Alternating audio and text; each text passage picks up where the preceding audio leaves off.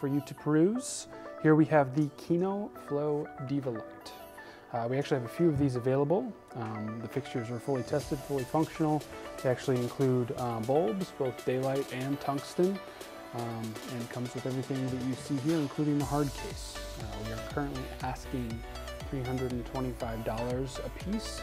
Um, you're welcome to test them out in shop and make sure they're in full working order for you.